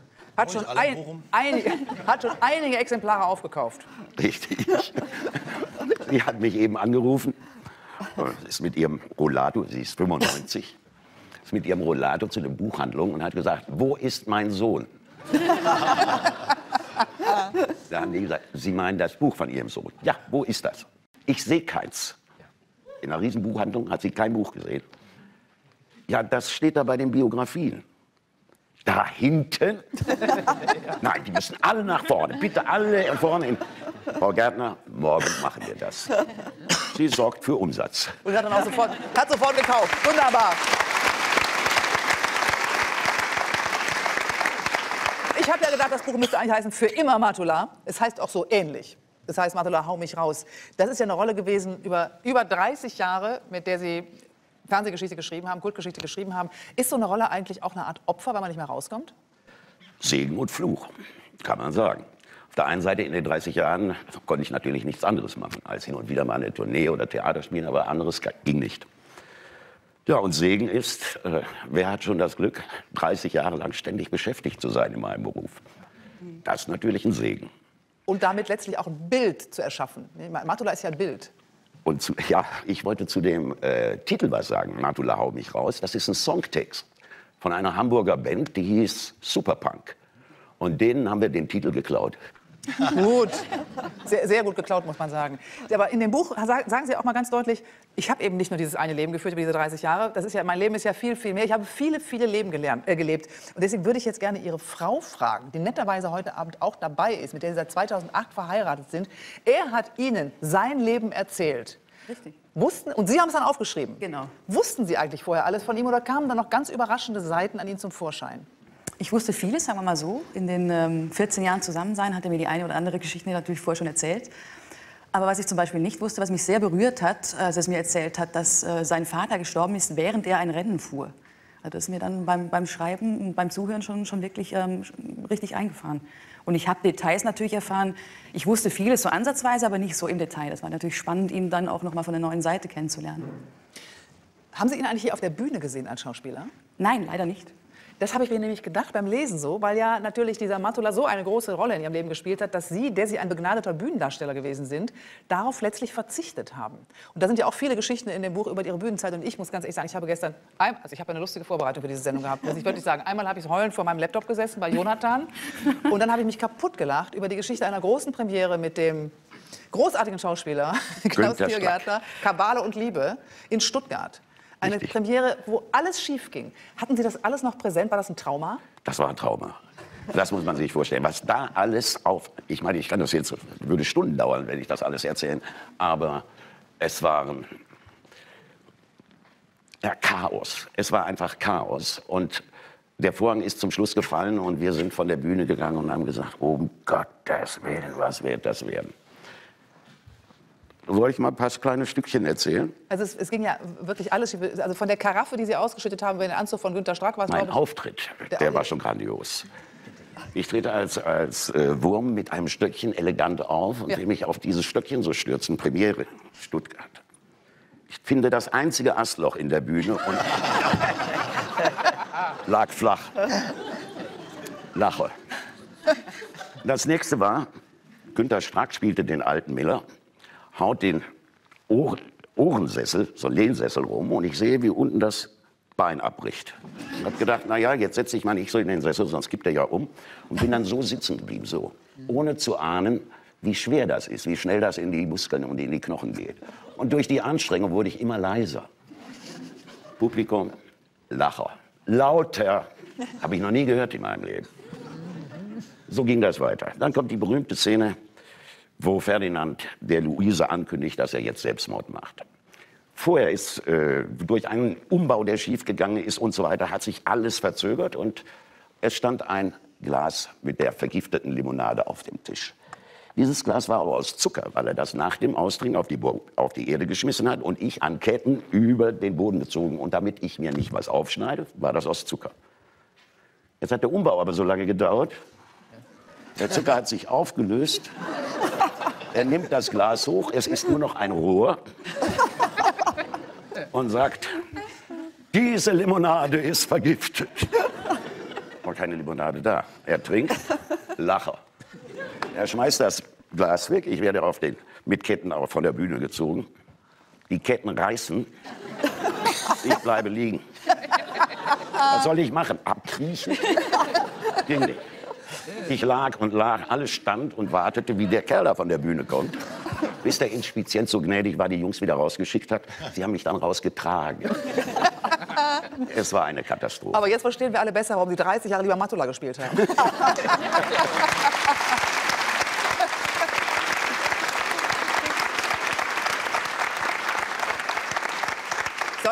Mega-Erfolge kann man nicht planen. Und als Sie, das war ja Beginn der 80er Jahre, äh, zugesagt haben, ich spiele das, da hieß es, da war der Schlagwort, ich habe mir aufgenommen, 100 Folgen, okay, CTG. Da haben Sie immerhin 100 Folgen, sind ja schon mal unglaublich viel für eine, für eine Fernsehserie, muss man jetzt mal sagen. Ja, ja, das war ja auch eine Fantasie von mir. Ja, eben. Der Produzent, der mich überreden wollte, ich hatte gerade eine, eine, eine Serie gemacht und war am Theater, an der Schaubühne, habe da gerade wieder angefangen und konnte da nicht dort wieder mit Urlaub kommen Gott sei Dank dauert das mit Drehbüchern und Zusagen, bis das alles so funktioniert beim Fernsehen, dauert das einigermaßen lange. Und nun äh, war ich ja nur an der Schaubühne und wollte da auch nicht weg. Und er fing dann an, wieder davon zu sprechen, willst du nicht doch den Matula spielen? Der Günter Strack möchte das doch auch so gerne und so weiter. Ich hatte aber ein ganz anderes Thema drauf. Habe mir so einen Rechnungsblock genommen, habe geschrieben, 100 Folgen, okay, CTG. Hat das schön zusammengefaltet, ins Portemonnaie gesteckt und mir bei der 100. Folge tatsächlich hinter Glas gerahmt wiedergegeben. Cool. Sehr gut. Geplant waren sechs Folgen. Und es wurden 300. Es wurden 300. Jetzt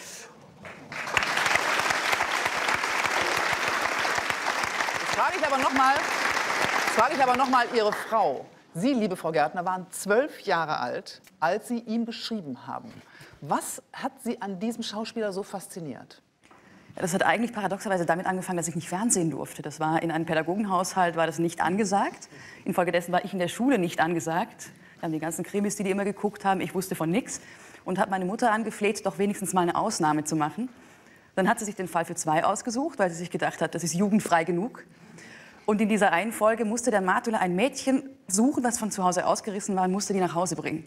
Das hat er auch gemacht, hat sich ihrer aber angenommen zuerst, hat sich mit ihr ans Lagerfeuer ge äh, gesessen und äh, mit ihr ihre Probleme diskutiert. Und dann habe ich gedacht, also so einen Kumpel müsste man auch mal haben und war dann eben Matula-Fan von der Zeit an. Und Sie, lieber Herr Gärtner, haben auf diesen Brief reagiert. Es war ja nicht nur der Brief. Der unterschied sich gewaltig von üblicher Autogrammpost, weil es war eine, na, wie heißen die, diese Rohre, diese, die man verschickt? Eine Rolle. Flaschenpost oder Eine, eine Rolle, eine Papprolle. Und da drin war ein Linolschnitt mit meinem Konterfei. Und ich wusste, wie schwer Linolschnitt ist. Ich habe es gehasst. Wir mussten das in der Schule machen. Kennen Sie das, Linolschnitt Ja, mit dem ja, von, Federchen? von früher, genau. So. Und tatsächlich, ich konnte mich sogar erkennen auf dem, auf dem äh, Linolenschnitt. Hinzu kamen zehn wirklich höchst interessante Fragen, wo ich gedacht habe, eine Zwölfjährige, ja, das hat doch schon was von Marcel Prost.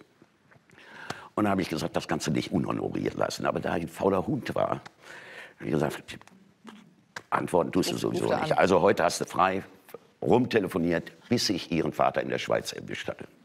Sarah, da ist ein Herr Gärtner aus Deutschland für dich. Nichts passierte. Was haben Sie gesagt? Wer sind Sie? Ich sage, Gärtner ist mein Name, ich bin Schauspieler. Ihre Tochter hat mir geschrieben. Keine Ahnung. Eben kein Fernsehen. Ja, er wusste nichts.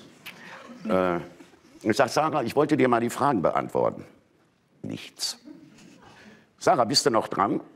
Das Nichts. hat ihr die Sprache verschlagen. Ich war doch sehr überrascht, dass da plötzlich so ein Anruf kam höchstens mal so ein sowas kam. Dann habe ich gesagt, kann ich ja verstehen, dass du jetzt äh, ein bisschen perplex bist. Pass mal auf, wir machen das so. Ich rufe dich morgen wieder an und dann beantworte ich dir die Fragen. Und schönen Dank für das schöne Porträt. Dann Na gut, man das- kann, ja- man kann hier einfach mal einen Cut machen und zehn Jahre springen. Denn zehn Jahre später, ungefähr eine Dekade später. War- war waren Sie junge genau. Journalistin. Und so trafen Sie sich irgendwann wieder. Und hatten aber diese wunderbare Anfangsgeschichte natürlich im Kopf, was ja auch total lieb ist von Ihnen, einem Kind dann antworten zu wollen, weil ein Kind sich so viel Mühe gegeben hat. Das hat ja was ganz Sympathisches irgendwo. Er hat dann aber tags darauf nicht mehr angerufen.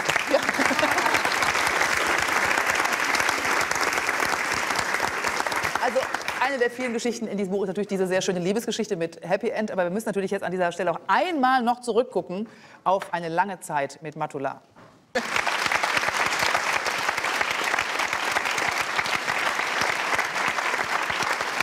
Klaus-Theo Gärtner, Sie haben nach 300 Folgen gesagt, jetzt ist aber auch mal Schluss. Ja? Ich bin jetzt in einem Alter, wo ich mich auch nicht mehr so schlagen muss und sonst irgendwie. Das Problem war nur, Sie haben gesagt, jetzt kommt ja was anderes. Ich bin ja Schauspieler, viel gemacht, es kam aber nichts anderes. Weil die Leute wollten Matula sehen oder sonst gar nichts. Sie haben ja mal den Heiner Geißler gespielt, das war, glaube ich, 2009. Ja, und das war so mein, das Erlebnis überhaupt. Also ich habe der Mann aus der Pfalz, eine Verfilmung über Helmut Kohls Geschichte und ich spielte den Geißler und las dann in der FAZ, was macht Matula in der Pfalz? und da war mir klar, ich bin als Schauspieler verbrannt. Ich bin nur noch die Maske. Ja, hinter der Maske. Und da habe ich zur Produktion gesagt, Leute, noch zwei Jahre, dann haben wir die 300. Folge, dann höre ich auf. Dann bin ich mit meiner Frau auf Reisen gegangen, war eine lange Zeit unterwegs und habe gedacht, wenn ich zurückkomme, dann werden da schon die Angebote liegen. Aber nichts da. Kein Castingbüro hat sich getraut, mich zu besetzen, weil eben Matula. Ja.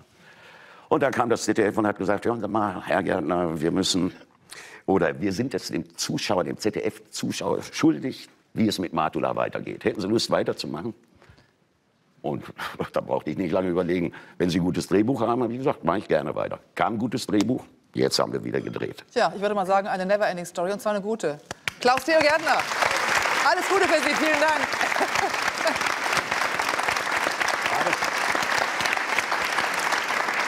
Darf ich noch dazu sagen, zu dem Buch gibt es natürlich auch ein Hörbuch. Das Haben Sie das eingelesen? habe ich eingelesen und die Klammer hat meine Frau eingelesen. Sehr witzig. Gut? Gut, alles klar. Vielen Dank. Es sind, sind Geschichten mit, mit Happy End heute, die, die wir hören. Und Ihre Geschichte ist auch eine mit Happy End. Silke und Bates. Es sah eigentlich, als Sie acht Jahre alt waren und einen schweren Unfall hatten, nicht gerade nach einem leichten, glücklichen Leben aus oder gar nach einem Happy End. Ähm, Sie haben mit acht Jahren einen Unfall gehabt. Sie sind Ihrem Hund hinterhergelaufen und sind dabei unter einen Güterzug geraten. Und als Sie dann sehr viel später wach wurden, das war ein sehr, sehr schwerer Unfall, den Sie knapp überlebt haben, stellten Sie als achtjähriges Kind fest, meine Beine sind weg. Ja. Trotzdem, wenn man liest, was Sie über die Zeit und, und auch heute schreiben, dann klingt das so, als seien Sie auch als Kind nicht verzweifelt gewesen. Und das ist was, wo ich immer wieder darüber nachdenke, wie kann ein Kind, dem die Hälfte sozusagen weggerissen wird, wie kann ein Kind das verkraften? Wie haben Sie das gemacht? Wer war Ihre große Stütze? Ah, Das kann ich Ihnen nicht erklären. ich denke nicht, dass ich das einzigste Kind bin, äh, das diese Kraft hat oder spürt noch. Sondern wir äh, ja, uns umschauen, viele Kinder, die an Krebs erkranken oder so, sind eigentlich stärker als die Eltern. Also es ist eine Kraft, die Kinder noch haben, die wir verlieren. Also es ist nicht, äh, dass nur ich die habe. Ja. Aber ja, es gibt ja jetzt einen Begriff, den, den man öfter hört, Ja. Resilienz. Ja, Sozusagen eine Widerstandskraft oder eine Kraft, mit Schwerem umzugehen. Und ganz offensichtlich haben Sie davon ein Riesenpäckchen abbekommen. Ja, Resilienz kann man lernen. Ne? Das ist ja die Frage, warum zerbricht der eine und der andere nicht? Also das war ja so diese Resilienzforschung. Ja? Äh, Ich denke, wir haben einfach was Wichtiges vergessen in unserem Leben.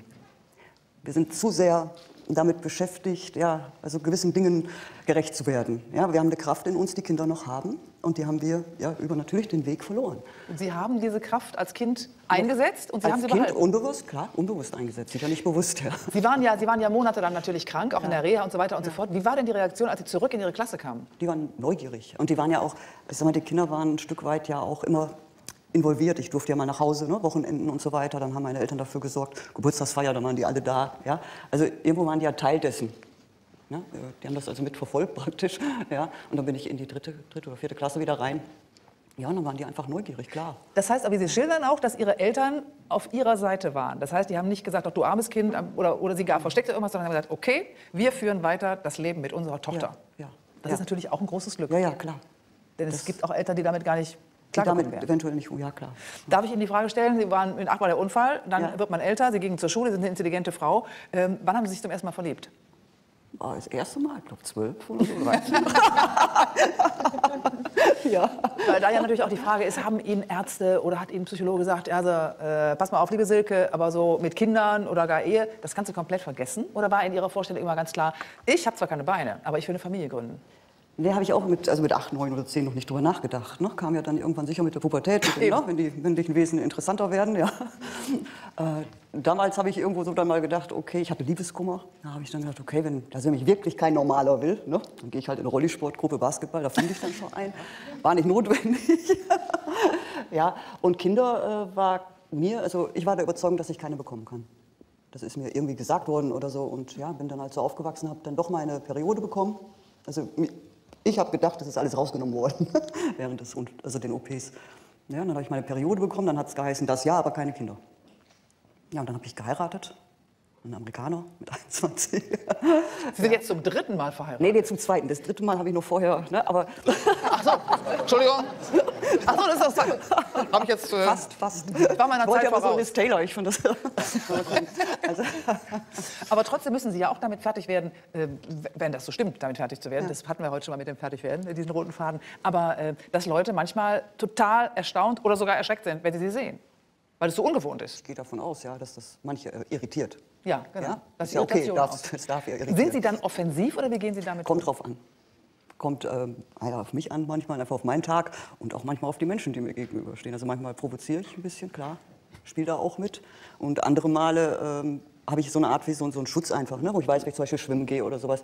Äh, Menschen gucken, das ist ganz normal, aber ich muss mir das nicht volle Breitseite geben, also gucke ich, ich gucke einfach da nicht hin. Also ich schere mich praktisch ein Stück weit dann einfach ab. Aber es ist schon Routine, also das ist jetzt Sie müssen sehr sportlich sein. Sie haben ja auch keine äh, großen Prothesen, sondern Sie bewegen sich ganz wesentlich auf Armen bzw. Händen fort. Ansonsten mit dem Rollstuhl natürlich. Ähm, aber äh, das heißt, Sie müssen eine unheimliche Muskelkraft in den Schultern und in den Armen haben. Nicht, nicht Kraft, also wirklich nicht Kraft, das ist einfach Technik. Technik und natürlich äh, permanent. Ich mein, Sie denken ja auch nicht drüber nach, wie Sie Ihre Beine benutzen und wie kraftvoll die sind oder nicht. Und das ist nichts anderes. Ja.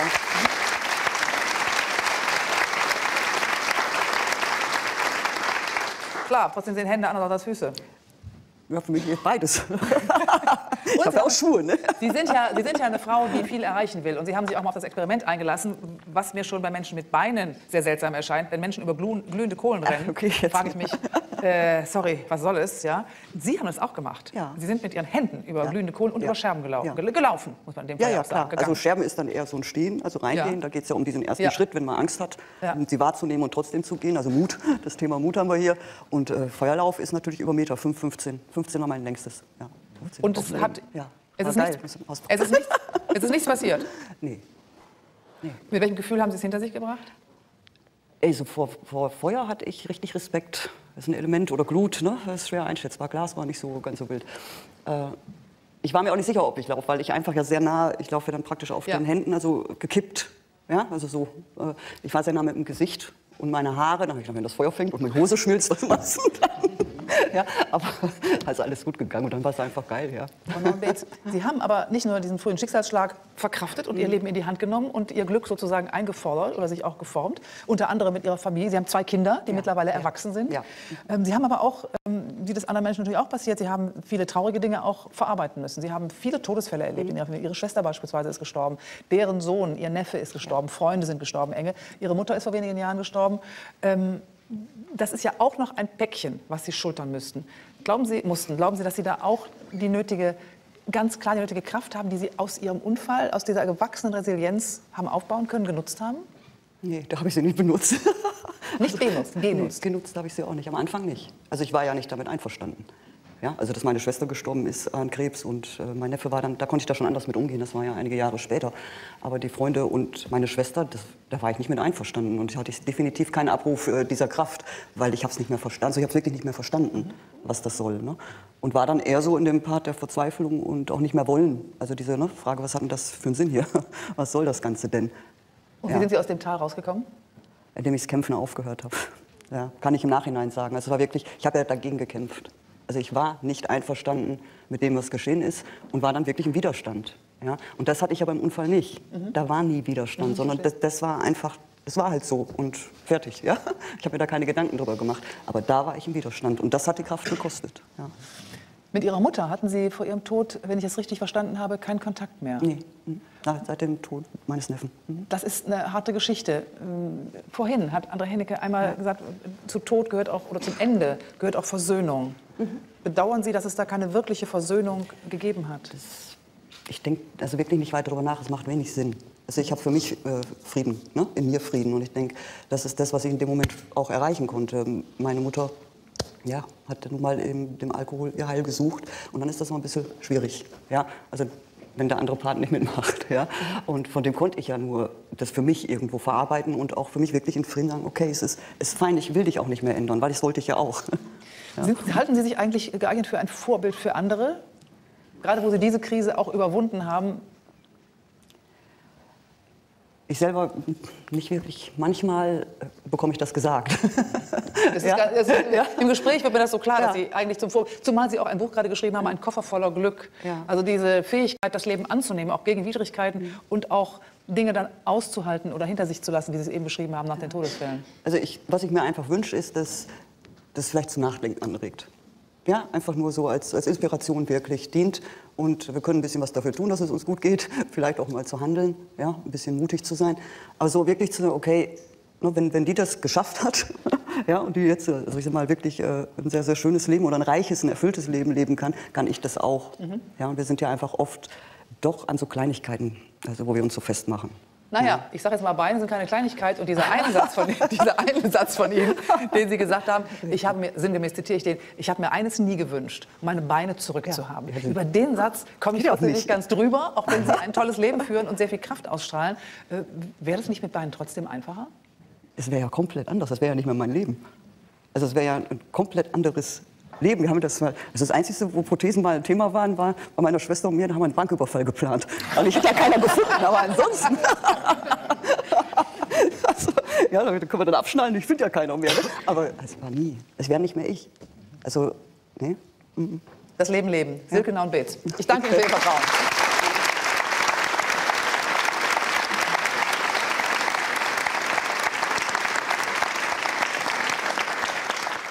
Barbara Meyer, wenn Sie im Oktober 2006 ähm, nicht neugierig ein Casting für Germany's Next Top Model besucht hätten, was Mhm. glauben Sie, wo wären Sie heute? Immer, Das ist irgendwie das Frage zurück. Das wäre ja nicht mein Leben. Heute haben Sie Ihr Leben, aber was wäre da wohl daraus geworden, wenn Sie damals nicht da gewesen wären? Ich glaube, ich hätte äh, ganz klassisch mein Studium zu Ende gemacht. Ich habe Mathematik äh, studiert zu der Zeit. Wäre wahrscheinlich äh, in irgendein Computerunternehmen gegangen, hätte da irgendwas mit Programmieren, Internetverschlüsselung, sowas gemacht. Ja. Auch Und würde wahrscheinlich eher auf dem Land leben. Ich glaube nicht, dass es mich so in die Welt hinausgezogen hätte. Ja, ganz klassisch wahrscheinlich Haus, Familie, Kinder. Sie waren eine begabte Mathematik Mathematikstudentin und Sie waren sogar, als Sie schon Germany's Next Topmodel geworden sind, sind Sie noch vom Bundesministerium für Bildung und Wissenschaft zur Botschafterin für Mathematik auserkoren worden damals. Da hatten Sie schon ganz anderes im Sinn. Nein, hatte ich eigentlich nicht.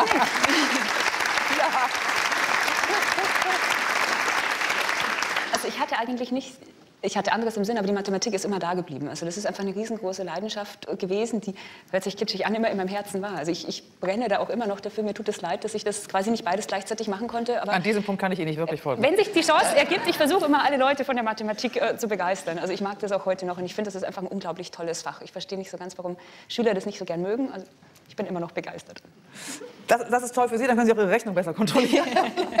Aber Tatsache ist, Sie haben sich für ein anderes Leben dadurch entscheiden können, denn Sie sind Germany's Next Topmodel, ich habe schon gesagt, ge äh, geworden. Und so umstritten die Sendung ja ist, muss man ja mal ganz deutlich dazu sagen, so sehr sagen Sie, für mich war es ein Glück, dass ich das gewonnen habe, weil ich in, einen Schritt in ein ganz neues Leben äh, wagen konnte. Hier sieht man Sie neben Heidi Klum. Ich finde, Sie sehen sich relativ ähnlich, ehrlich gesagt. Ne? Wie galt? Ja, äh, da ist also eine. Auf den ersten Blick ist Ähnlichkeit da. Beides Models, also schöne. Das Oder so. das, ja. Das, das kann ja Aber in sein. Wirklichkeit sind das doch nicht ähnliche Typen, oder? Sind doch eher so introvertiert, denke ich. Und Mathematikerin ist Heidi Klum jetzt auch nicht, glaube ich. Das stimmt natürlich. Ist sie nicht. Aber wie, wenn Sie an diesen Wettstreit zurückdenken, an dieses Casting, an diese Castingshow, wie war denn die Atmosphäre unter den jungen Mädchen?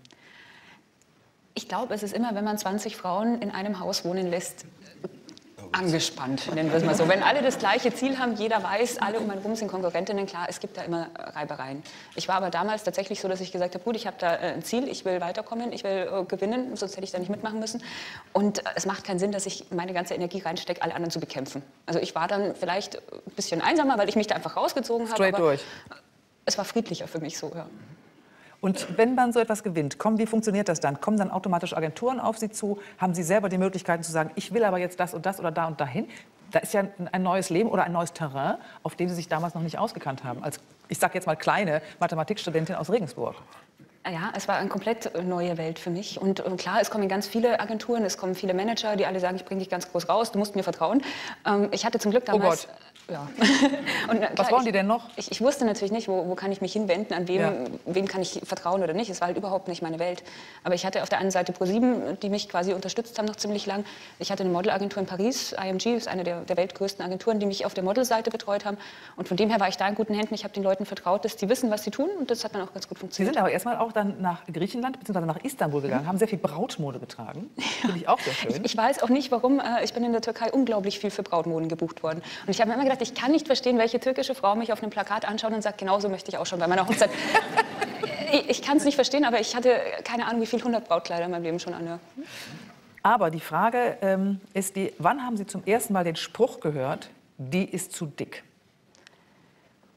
Ach, ich glaube, das war sogar während unserer äh, Sendung noch, während Topmodel. Aber ich habe das so öfter mal gehört. Aber ähm, ich habe das auch mitbekommen, dass das zu Frauen gesagt wird, die definitiv untergewichtig waren. Also es wird so ziemlich einfach jedem Model gesagt, dass es zu dick ist. das Warum, war jetzt warum, nicht so. warum ist das so? Das ist doch krank. Es ist, es ist krank. Ich glaube, dass es für die Modebranche Sinn macht. Weil es ist doch so, es gibt ein Kleid, das sind erstmal Einzelstücke, das wird auf dem Laufsteg gezeigt, dann wird es vielleicht zu Vogue geschickt, die darf damit fotografieren, dann wird es zu Elle geschickt, zu Harper's Bazaar. Und jedes Model, die auf dem Laufsteg, die in jedem, bei jedem Shooting, muss in dieses Kleid reinpassen. Aber- und ich glaube trotzdem, wenn eine Frau so ab, sagen wir mal, Kleidergröße 36, 38, die eine hat mehr Brust, die andere hat mehr Po, die andere hat vielleicht mehr Beine, dann sieht das Kleid nicht mehr gleich aus. Ich glaube, das ist einfach durch dieses System bedingt, dass ein Kleid immer gleich an allen Frauen aussehen muss. Aber ich habe durch Sie jetzt gelernt, ich habe durch Sie gelesen, dass die Kleider, die dann vorgefertigt sind und in die jeder reinpassen muss, damit ich nicht immer muss, das ist Kleidergröße 32. Das sind doch Teilweise- Kindfrauen. Teilweise ja, aber teilweise sind die Mädchen auch einfach 15, die das anhaben auf dem Laufsteg. Ja. Aber Kleidergröße 2. Wie, wie, alt sind Sie jetzt? Sind um die 30 Jahre Ich bin alt. 30 geworden. Ist man dann verbrannt als Model oder kann man weitermachen? Ich war, glaube ich, ich habe äh, so mit 20, 21 angefangen, auch da war ich eigentlich schon zu alt. Also ich war bei den Castings meistens die, äh, nicht die dünnste und ich war auch definitiv nicht die jüngste da. Ich war auch nicht die größte. Also es war immer so, meine Voraussetzungen waren nicht so gut, dafür ist es sehr gut gelaufen. Aber die Mädchen sind halt einfach alle 15, 16, äh, 1,80 groß und äh, kein Gramm Fett. Das ist einfach so. Die schauen auch alle anders aus, sagen wir so. Das heißt also, dass Sie zum einen ein neues Leben haben führen können, was total interessant auch war, indem Sie in New York gewesen sind, in Paris gewesen sind, in Istanbul, in der Welt rumgekommen sind. Zum anderen hatten Sie aber immer Druck im Nacken. Die ist bald zu alt, die ist jetzt schon zu dick, dieses und jenes. Mhm. Schön stelle ich mir das auch nicht vor. Es ist sehr schwer. Äh, Ich bin trotzdem dankbar dafür, weil mich das sehr geprägt hat. Ich muss sagen, ich war in der Schule äh, sehr strebsam. Ich hatte immer sehr, sehr gute Noten. Und ich war das eigentlich schon gewöhnt, zu bekommen, was ich will. Einfach durch viel Fleiß. Und es hat aber immer alles funktioniert. Und ich glaube, das war für mich eine ganz tolle Lektion, dass ich wirklich äh, rausgegangen bin und auch wenn ich fleißig war, was nicht bekommen habe. Ich glaube, ich musste das tatsächlich auch lernen. Ich war schon als Kind immer so eine schlechte Verliererin, wenn wir irgendwie ein Brettspiel gemacht haben und ich habe nicht gewonnen, habe ich alles weggeschmissen.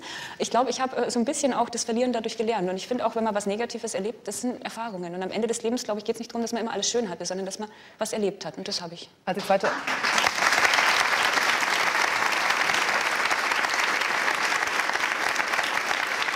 Sie achten, das ist, äh, bringt mich dazu, dass Sie sich irgendwann vor, vor wenigen Jahren, ich glaube, es war 2000, wann war es? Der New York Marathon war 2013. Da haben Sie sich gesagt, obwohl Sie keine große Läuferin waren, ich laufe jetzt mal in New York mit. Wiegald, du hast auch schon Marathon hinter dich gebracht, mehrere, glaube ich. Ich habe einen geschafft und Sie haben gedacht, das finde ich wahnsinnig komisch, äh, liebe Barbara Meyer, Sie haben gedacht, so New York Marathon, 42 Kilometer, das läuft man in so einer Woche ab. Naja, ich dachte halt, man fängt äh, am ersten Tag an, läuft man einen Kilometer, am zweiten Tag läuft man... Schönes Super, Missverständnis. super, ne? 42 Tage lang. Ich hatte gedacht, ich 42 Tage trainieren. Ja gut, ähm, es war dann doch etwas anders. Aber ich hatte das auch nicht geplant. Ich, ich war nie großartig laufen. Und Also wo ich wurde das Missverständnis aufgeklärt dann? Naja, es ging so los. Ich, ich, ich wollte ja eigentlich diesen Marathon gar nicht laufen. Ich war mit Freunden feiern und die Männer haben so gesagt, sie laufen jetzt in New York den Marathon und äh, wir Frauen können dann Schuhe shoppen gehen. Und ich war dann natürlich so ein bisschen äh, und in meiner äh, Ärger gekränkt habe ich gesagt, natürlich laufe ich mit. Die Männer fanden das toll, die fanden das super und ja, so kam das halt dann, dass ich dann äh, gesagt habe, ich bewerbe mich da, das ist ja eine Lotterie, alle wollen immer, keiner bekommt diese Startplätze, bewerbe ich mich halt. Gut, das war dann so das, äh, ja, die Rache des Schicksals, dass, weil ich so großmütig war und gesagt habe, klar, laufe ich damit, bin ich ausgelost worden und da habe ich dann angefangen, mich damit zu beschäftigen. Aber da sieht man, eigentlich- da sind Sie unter vier Stunden gelaufen, was wirklich ziemlich klasse ist für eine Frau, die vorher nicht gelaufen ist. Und seitdem haben Sie auch ihre, ihre Leidenschaft fürs Laufen erst entdeckt und dann behalten. Auch in Ihrem Buch, was Sie geschrieben haben, wo Sie sagen, es geht darum, dass jede Frau nicht irgendein spezielles Gewicht erreicht, sondern ihr Glücksgewicht. Die muss verschiedene Sachen sollte sie machen, damit sie sich auch frei macht von diesen äußeren Zwängen, unter denen viele Models leiden. Wie sieht die Zukunft eines Models mit um die 30 aus?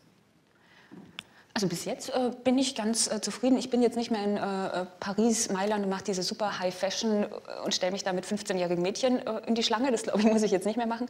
Aber ich habe ganz tolle Kunden. Ich arbeite ein bisschen kommerzieller im Modelbereich, mache mehr Werbung. Ich habe das Schauspielen, ich habe eben das Buch geschrieben und ganz viele verschiedene Projekte und bin da eigentlich ganz happy gerade, so wie es läuft. Ein Leben beeinflusst von Heidi Klum. Vielen Dank. Barbara Meyer, danke, dass Sie da sind.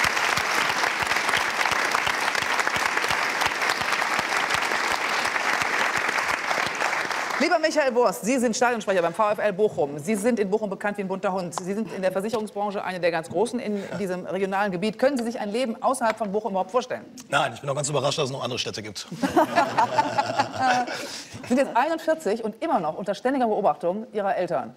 Sie wohnen alle unter einem Dach. Das heißt, genau genommen sind es zwei Dächer, aber egal. Ja, ganz genau. Also bei uns im Ruhrpott, da gibt es natürlich Gegenden, wo, ähm, wo es noch so alte Häuschen gibt, die ein bisschen verbaut sind. Und ähm, wir wohnen da alle unter einem Dach, haben da insgesamt, glaube ich, acht oder neun Mietparteien in, in unserem Haus, was uns gehört. Grad und fünf davon sind von der Familie Wurst belegt. Also viel Glück auch da an die anderen Mieter, die haben da relativ wenig zu sagen. Und äh, es kommt aber immer wieder, wenn man hier auch mal hört im Kölner Treff, es kommt, läuft immer wieder eigentlich auf das Gleiche raus. Und das finde ich so, so spannend jetzt auch, wenn man die Geschichten hier hört, dass, glaube ich, jeder, der in den Spiegel guckt, sich eigentlich ein intaktes Familienleben mit allem, was dazugehört, mit Krieg und Frieden wünscht, einen Rückzugspunkt. Und wenn ich deine Geschichte höre, dass du gesagt hast, ähm, du bist dann nach Berlin gefahren, weil du nicht mehr so viel da bist. Also ich habe meine, mein, meinen Vater, meine Mutter, meinen Onkel, meine Tante, meine Frau, meine Kinder halt permanent um mich herum. Ich komme gar nicht in diese Bredouille, natürlich auch, wenn ich mal öfter weg bin. Aber wenn ich dann nach Hause komme, dann ist es doch wirklich das Zuhause, wo meine ganze Familie ist. Aber, ich, aber wollten das ist Sie, ein Luxus. Wollten Sie irgendwann trotzdem mal weg als junger Mann? Also eigentlich wollte ich nie weg, tatsächlich nicht. Ich habe immer gesagt, ich bin in Bochum geboren, ich lebe da und ich werde da auch begraben. Und bisher halte ich mich dran. Das, das, das sagt Ihr Vater genauso und auch dessen Bruder, der ja sieben Minuten älter ist. Ja, richtig. Also die Zwilling. beiden sind Zwillinge und ich kann Ihnen garantieren, wenn, äh, wenn wir haben- bekommen jetzt eine Sendung über unsere völlig normale Familie im WDR-Fernsehen und wenn das in Bayern einer sieht, dann denkt er, im Ruhrpott ist ein UFO gelandet und da sind drei ausgestiegen.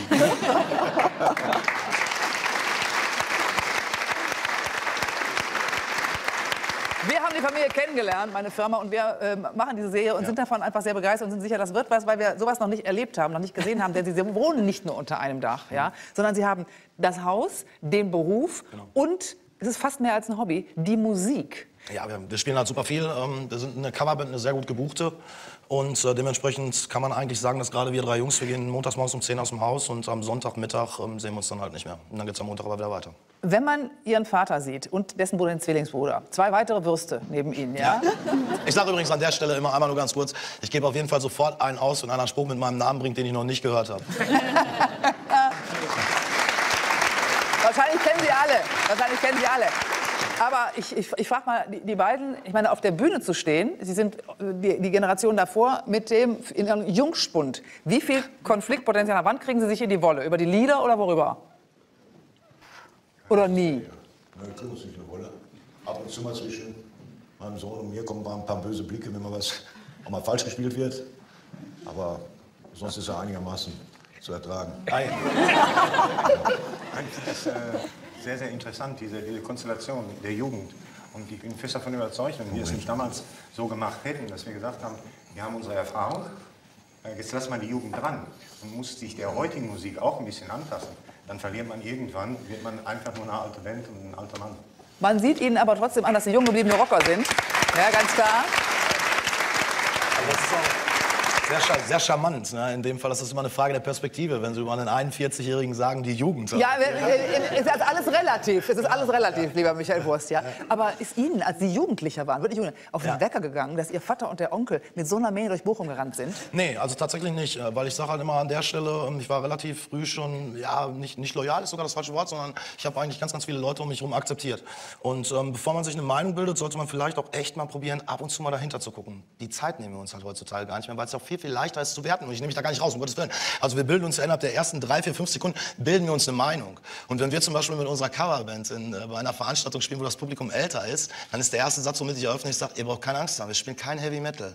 Weil das ist natürlich sofort der Eindruck, der, der erweckt wird. Ich will da keinen, keinen Stein werfen, aber ich finde es halt immer einfach, mit Finger auf andere zu zeigen. Und da war mir das nie peinlich, sondern ich war eigentlich immer stolz darauf, dass ich eine sehr, sehr jung gebliebene Familie habe, immer noch. Und ich kann mit Fug und Recht heute mit 41 sagen, und ich bin ja in der Mitte Nummer, ich bin selber ein Papa von zwei Kindern und äh, bin auch noch ein Sohn. Ich kann mit Fug und Recht sagen, mein Vater ist mein bester Freund. Oh, wer kann das schon sagen?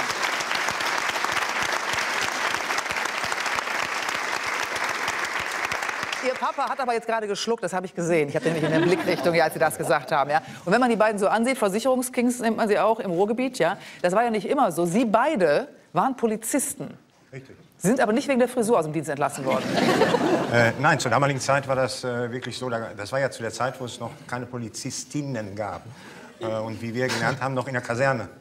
Und das war im Endeffekt so ähnlich wie, wie beim Bund. Ja, und warum haben, Sie den, warum haben Sie den Job gewechselt? Polizist ist auch ein, eine gute Ähm, Anstellung. Das ist eine andere Geschichte. Äh, Man hat uns getrennt. ja, man hat uns getrennt. Man hat uns vorgaben, den Fußballverein im Endeffekt wegzunehmen, weil wir haben damals auch Fußball gespielt, auch in der höheren Liga. Da habe ich gesagt, das machen wir nicht. Und äh, seit dem Zeitpunkt habe ich gesagt, mir schreibt keiner mehr vor, wie ich meine Haare zu tragen habe. Und seitdem wachsen sie.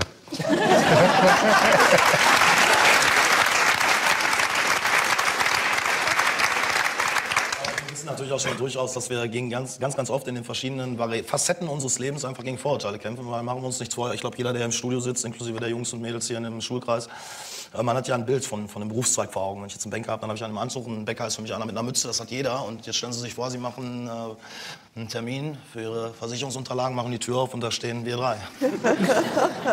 ja, guckt man schon mal ein bisschen komisch, natürlich. Ja, hat aber wohl geklappt. Ja, es klappt sehr gut. Also wir betreuen irgendwie knapp 4000 Kunden in zwei Agenturen. Bei uns in Bochum haben wir auch ein paar Angestellte, lassen das aber in der Familie. Ähm, aber also wie gesagt, das, wir, die Leute im Pott, die nehmen uns halt so, wie wir sind. Und der, der Ruhrpottler als solches hat auch eher Angst und Respekt vor dem Anzugträger. Naja, und was ich eben schon gesagt habe, sind bekannt wie unter in Bochum, unter anderem deshalb, weil sie Stadionsprecher beim VfL sind. Wie wird man denn sowas? Ja, die haben angerufen und gefragt, ob ich das machen möchte. Ich habe gesagt, ja, und seitdem bin ich da. Wir, gucken, war das so. wir, wir gucken jetzt mal kurz rein in so kleine Szenen der Familie Wurst. Oh Gott, wir haben die noch nicht gesehen. Das wissen Sie schon. Ja, gab schon Szenenapplaus gerade, ne?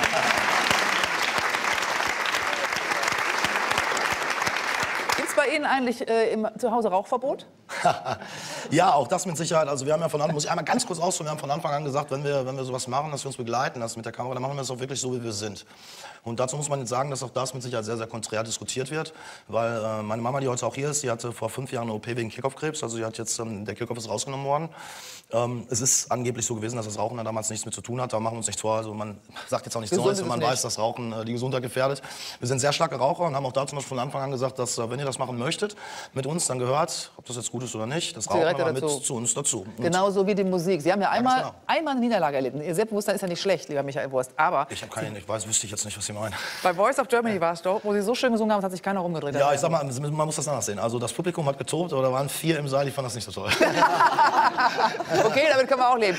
Die Musik. Welche Rolle spielt die Musik? Eine der ganz großen, eine ganz große bei Ihnen? Genau. Ja, also die Musik ist ein im Endeffekt unser Leben. Wir sind auch ganz bald aufgestellt, was man nicht weiß. Ich schreibe ganz viel für deutschsprachige Interpreten. Ähm, Wir machen eigentlich, was wir wollen da, das ist auch mal ganz wichtig. Und, äh, ja. Was wollen Sie uns jetzt bringen? Ach, ein, ein Song, den, also den, wer den nicht kennt, der weiß ich nicht. Ähm, New York Mining Disaster 1941. Kennen Sie den? Nee. Aber gleich. Ja, das war der erste, der erste Hit, den die Bee Gees damals hatten. So. Ja, Und? los geht's. Komm. Mm, Komm mal hoch, Papi. Kleiner Applaus für meinen Papa, meine Damen und Herren.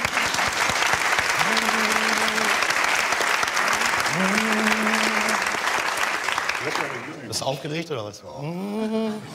In the event of something happening to me, there is something I would like you all to see. It's just a photograph of someone that I knew. Have you seen my wife, Mr. Jones? Do you know what it's like on the outside? Don't go talking too loud, you cause a landslide. Mr. Jones, I keep straining my ears to hear a sound. Maybe someone is digging underground. Or have they given up on all the melted bed? Thinking those who once existed must be dead. Have you seen my wife, Mr. Jones? Do you know what it's like on the outside? Don't go talking too loud, you cause a landslide. Mr. Jones.